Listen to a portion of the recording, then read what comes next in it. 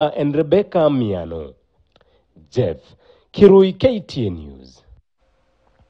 Moving on, a group of human rights activists have welcomed the decision by President William Ruto to disband the dreaded Special Service Unit, which has been linked to extrajudicial killings and forceful disappearance of some Kenyans.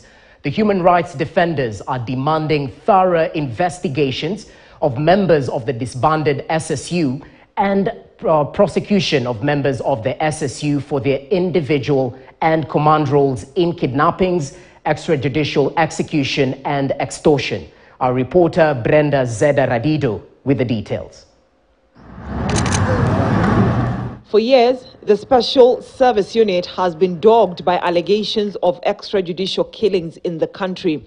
Between January 2022 to September 2022, some 107 Kenyans have been killed and 10 others mysteriously disappeared.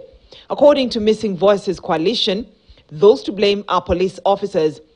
In 2021, at least 219 people were killed and others disappeared.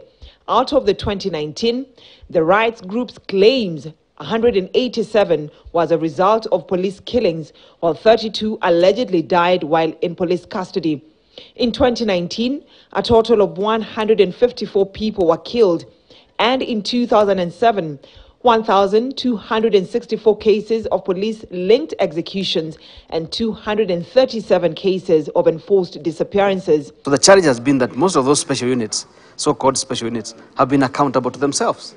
And that's why you have this lawlessness, criminality, you know, abductions, kidnappings, extortion, extrajudicial executions, and enforced disappearances. The special unit is not enough.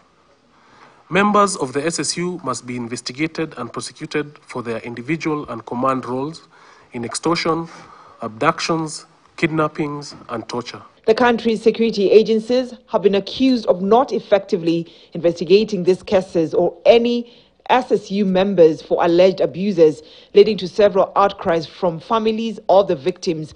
The decision by the government to disband the much dreaded special unit on Saturday has been applauded by human rights bodies. The presidential admission confirms previous uh, public statements by us that the Kenya government has been complicit in a policy of extrajudicial killings and enforced disappearances or unwilling to stop police units responsible for the same.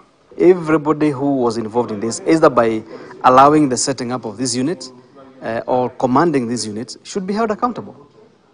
Nobody should be left because we have a tendency in this country of holding to account uh, the junior people within uh, institutions. We want to go to the highest level.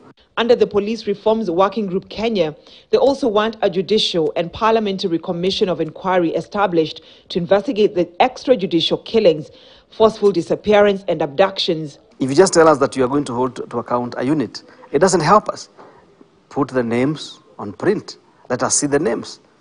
Let us scrutinize the names so that we tell you if you are leaving out anybody that is on our case files uh, as, as, as, as, as victims, as families, as human rights organizations. And we are prepared to participate and provide evidence in the Commission of Inquiry and to mobilize citizens to come out and, and, and, and present their, their, their grievances before the Commission of Inquiry. The father wants the government to issue a national apology to all families of victims and nations for lives lost.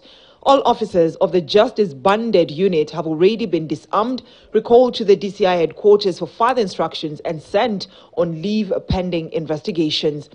Brenda Zeda Radido, KTN News. Now, police have